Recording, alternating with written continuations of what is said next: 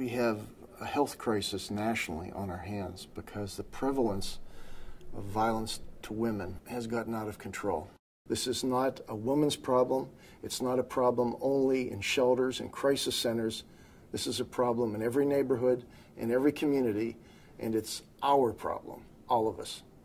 All of you men that I'm talking to out there. I know you've been in situations, whether it's a locker room, a golf course, wherever, been congregate, where somebody has said something misogynistic, maybe even threatening. How many of you have the courage to speak at that point in time?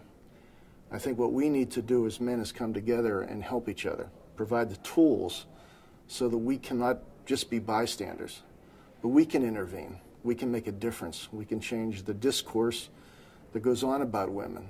And only by doing that can we change this culture of violence towards women.